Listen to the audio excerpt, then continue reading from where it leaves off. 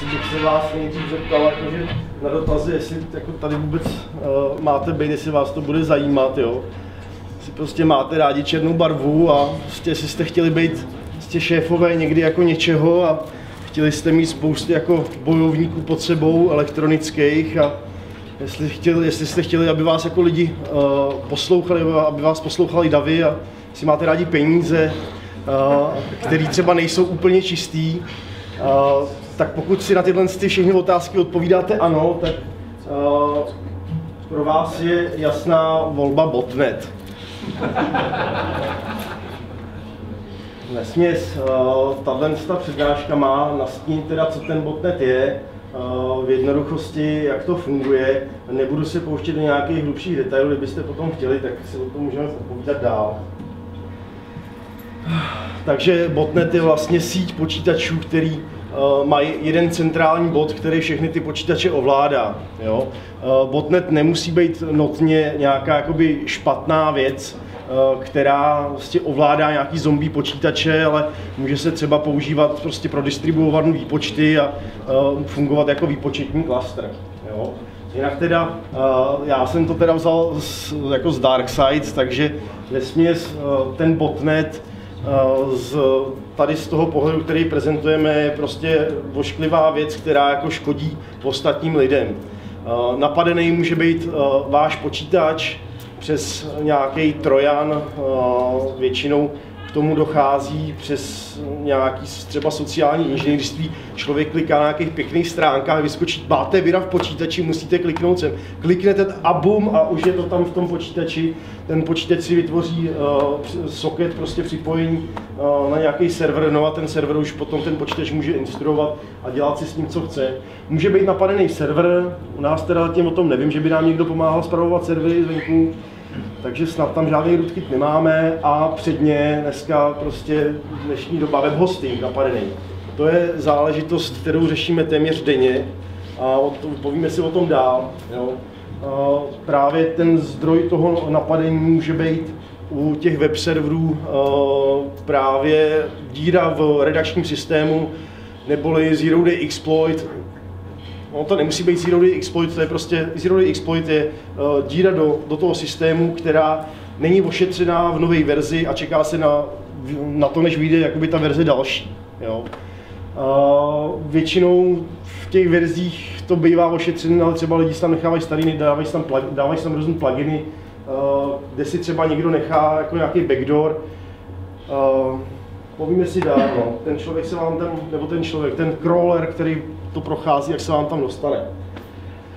Jo, no, tak tady si povíme jako v krátkosti, co je to botnet controller, to je ten centrální bod, eh, který celý ten botnet řídí, který tam sbírá nějakým crawlerem do databáze eh, svoje eh, ty ovečky, ty napadené počítače, případně napadené webhostingy a sbírá je teda tím způsobem, že crawler přijde někam na stránku, eh, tam si zjistí, eh, zda ta stránka má tu bezpečnostní díru, hodí si tam nějaký svůj kód a tradá, máme prostě ovečku do databáze, která bude eh, na moje povely reagovat. Vesměs, já teda nevím, že by existoval nějaký dostupný botnet, control jako open source, který by byl takhle škodící ve směs je to vždycky na vašem řešení, jaký si vy zvolíte, pokud teda ten bod nechcete dělat. Jo. Tak, vytváření botnetu. Takže tady už jsem, jak jsem nastínil, dá se to dělat pomocí crawleru, který teda prochází internet, to je ten botnet controller, a postupně hledá ty ovečky, které prostě mají tu bezpečnostní díru. Eh, co se týče těch eh, redakčních systémů, tak nejtradičnější prostě hack, se kterým se tam setkáme, který tam ten eh, crawler nahraje, tak je tady ta řádka. Eval, base 64 decode a nějaký prostě request, kdy ve finále ten botnet potom veme nějaký balík kódu PHP-kovýho, prožene ho base 64 encode a pak to frkne přes ten request na ten server a server to nakonec uh, tím evalem vykoná. Oh, další teda cestou je vytváření uh, pomocí toho trojského koně. Je to teda dneska už trošku přes ruku. Respektive byla, byla doba, kdy ty trojské koně hodně jeli, bylo hodně infikovaných počítačů. Dneska, aspoň z mého pohledu, protože dělám tu datacentru, tak se spíš setkávám s touhle cestou.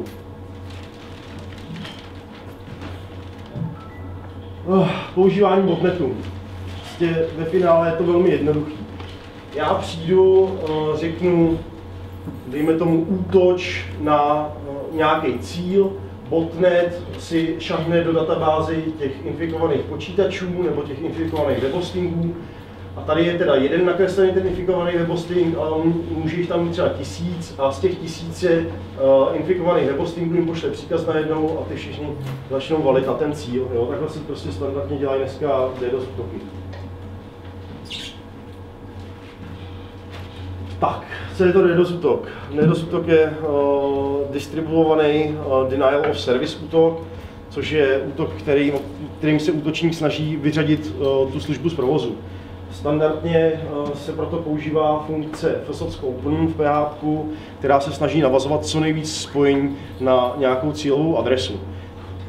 Uh, běžně se to dělá teda přes UDP, a nebo se to dělá přes uh, TCP SYN, kdy se snažím přes to TCP dočukat na nějaký port a vždycky tam pošlu jenom požadavek na synchronizaci. On mi sice zpátky pošle nějaký acknowledge, ale já už na to kašlu a jenom mu tam valím ty syny a snažím se vlastně obsadit všechny volné pozice, všechny volné porty, které tam on má a nepustit tam někomu, někoho jiného ke slovu.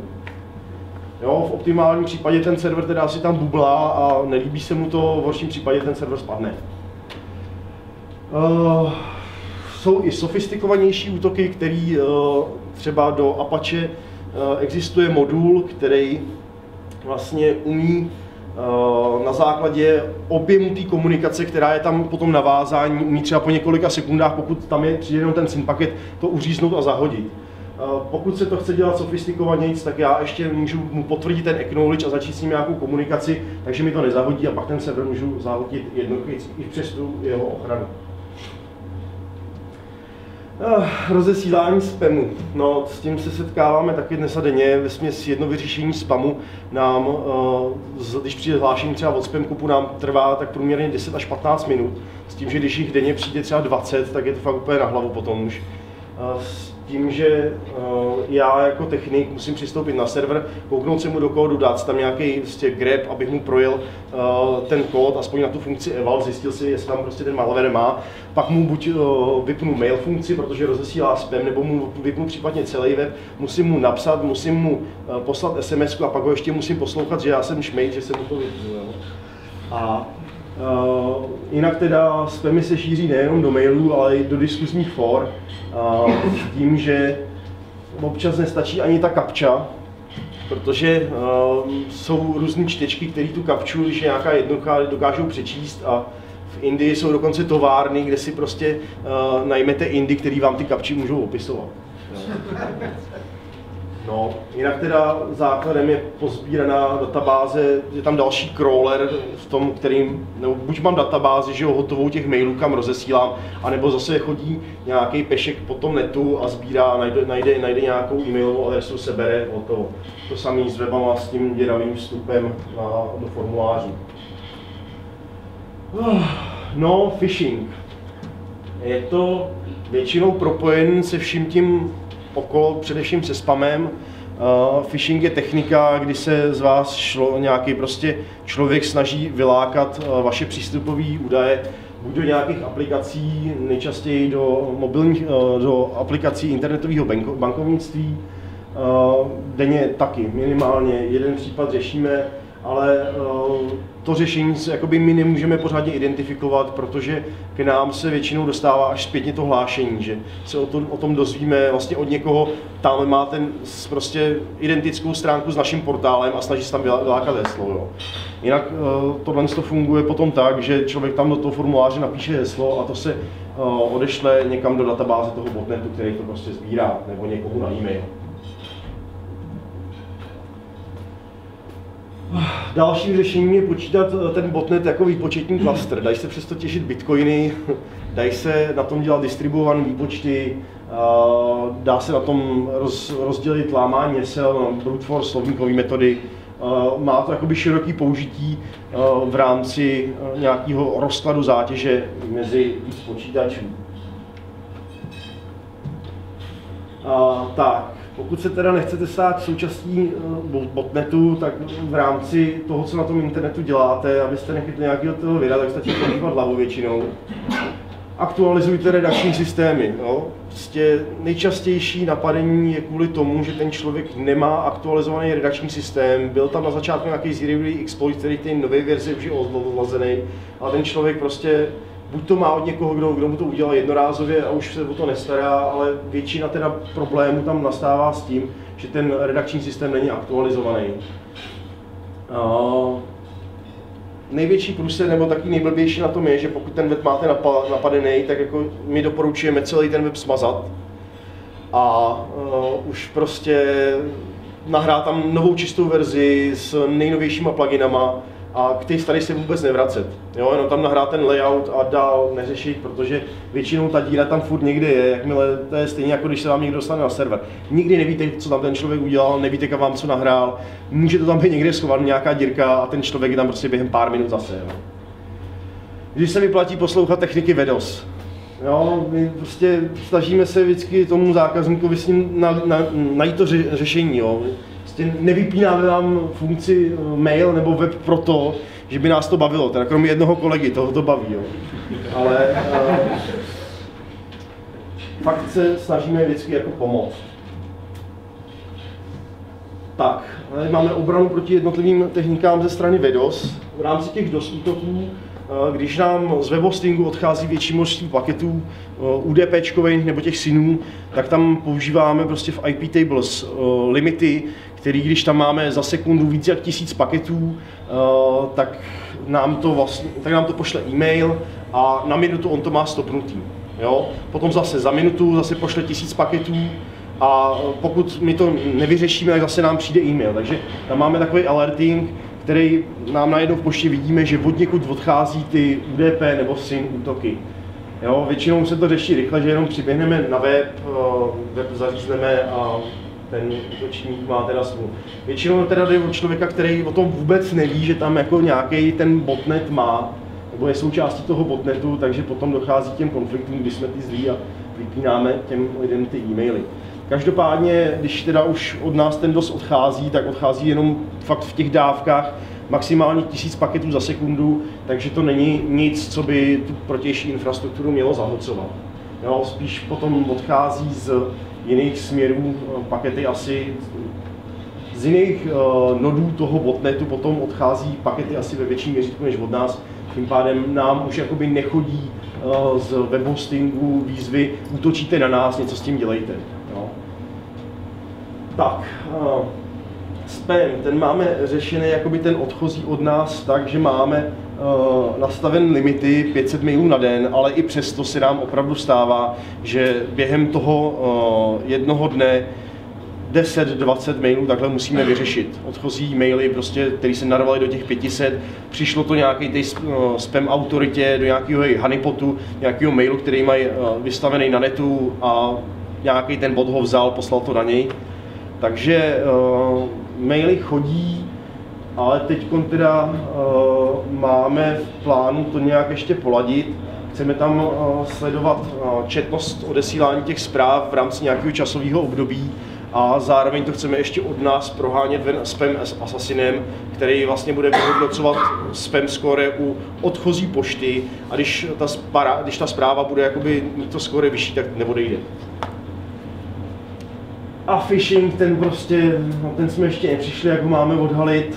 Každopádně mě napadlo takový jako ultimátní řešení, a, a to prostě, že si vytvořím crawlera, který bude procházet ty stránky a když tam najde díru bezpečnostní, tak celou tu stránku i z databází smaže, abych já to potom v té poště nemusel řešit.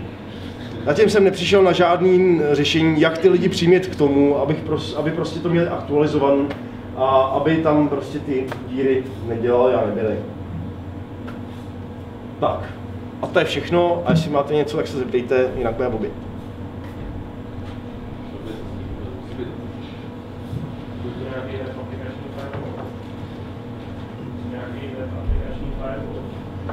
Uh, web aplikační firewall, no, uh, přemýšleli jsme o uh, intrusion prevention systému uh, o Snortu a uh, dá, se, dá se tam samozřejmě, jako těch škála, škála těch možností je velká, jo.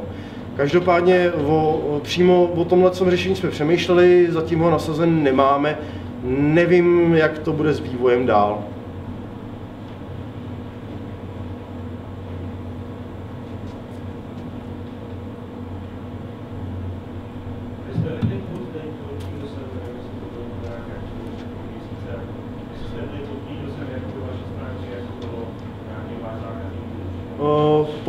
Pod, jestli jsme byli někdy pod dosem, jako v v dohledné době, no tak jednou do týdne plus minus tam prostě něco proběhne, většinou to není žádné, jako že bychom si trhali žíly, tak sedíme najednou na monitoringu, začnou skákat oranžový, potažmo červený hlášky a něco, jako někdo se děje, pak vidíme houp na tom grafu.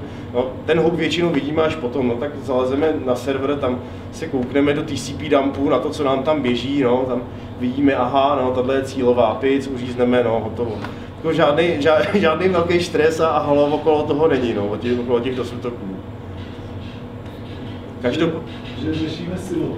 No, ale tak jako třeba, uh, já jsem se bavil s uh, Tomášem Hálou, doufám, že mu ne, ne, ne, nekomolím jméno, je to hlavní technik eh, Active 24, když oni řešili před asi dvouma rokama takový ty dost útoky na e-shopy s uh, RC modelama, s autíčkama tak.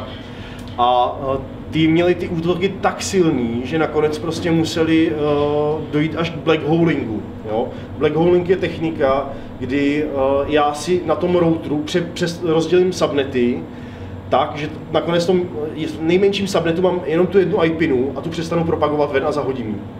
Jo? Protože prostě na tu IPinu jim šlo takový útok, že jim to ucpalo kompletně celou linku.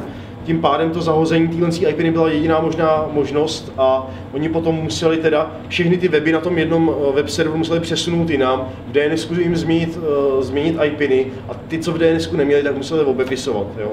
Bohužel to bylo tak silný, že nešlo řešit jinak. Jo, jenže, jenže můžeme k tomu dodat, že oni měli gigový linky, kterou ucpe každý jedním, jedním serverem. No to jsme nedávno ucpali normálně tele trojce link. No, jo, takže a my to řešíme právě silou, že máme, jak máme 10 gigový linky, 10 gigový no. routery switche, tak vlastně jako, když nám My si toho třeba ani nevšimneme, jo. Tak nás, tak nás to jako, si to ani nevšimneme. Ne, teďkon... Právě u toho Apki 24 oni měli gigový záležitosti, gigový to stejný teďka tři, co říká kolega, nějaký naše VPS. Ne, tam byly prostě VPS, který měli otevřený DNS, no. otevřený servery, no. A tak tam prostě byl DNS, DNS amplification, my jsme si toho na grafu vůbec nevšimli, že od nás něco odchází a pak nás začal bombardovat soudruh z té trojky, že, prostě, že mu tam hltíme linku a trada bylo halo. No. Tak jako jsme to samozřejmě odfiltrovali a jako jsme se omluvili a všechno, no, tak stane se, no. U nás je to právě řešení nejvíc vyřeší ta hrubá síla, že to je prostě naddimenzované všechno. Já se to pomáhá. Ale mohlo by to být ještě líp. Mohli bychom počítat na těch grafických kartách na routerech. No, jako možností, možností je spousty, no. Uvidíme, jak to půjde dál. Ještě někdo něco? Já se můžu, abych se zeptal, před měsícem asi byl výpadek krátký, asi na vadíku, někdy kolem 12.40, nebo tak nějak to bylo. Mě zajímalo, čím to bylo. Myslím, že jste to nenapsali. Mám to říkat.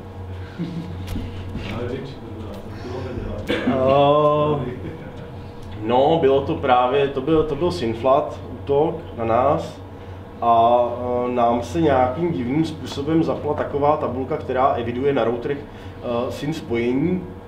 No a ta tabulka se nám prostě zaplácala, přetekla a uspalo to a my jsme na to přišli, jak toho chvíli trvalo.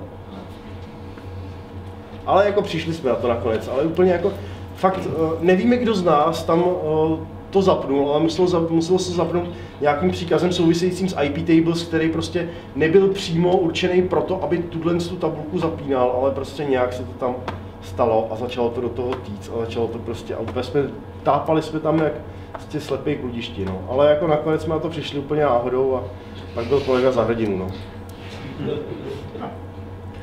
A tam my jsme to potom začali řešit už jako tak, protože to byla krize, tak jsme vlastně přeroutovali no, tu síť těch VPS, nebo část sítě té VPS no, na mm, prostě router s dedikovanýma, tam to teklo v pohodě, no. Ale než jsme jako to přišli... Bylo to, jako, bylo to na konci března, v podstatě dá se že to byla nejhorší věc, která nás jako z hlediska vypadla, jako posílala, protože nám se týkalo... Bylo hodně úplně kompletní, že většinou To byly se VPS. tam něco nešlo, a teďka šlo. No ne, to byly VPS, VPS primárně. To byla tři čtvrtě hodiny, Hmm. s tím, že chvíli, chvíli vůbec, chvíli, chvíli jako málo špatně. ale- Jako to už bylo potom dobrodružný, jo. To už, nebylo, to už nebyla taková nuda, že tam jako sedíme a tak, a už jsme pak jako, jako všichni seděli a úplně, ty vole, to je, to je. No, bylo to tam. no.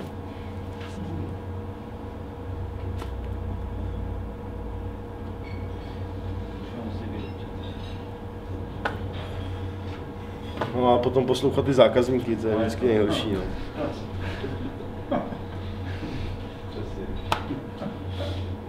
A ne, to bylo tak dramatické. To není to zákazníků. Tak snažíme se to dělat jako nejlíp, jak umíme. No. Josef by nás jinak vyhodil, on je zlej. No, takže jestli teda dotazy nemáte, tak já to ukončím a popřeju vám dobrou chuť. Já jdu na řízky do serverovny.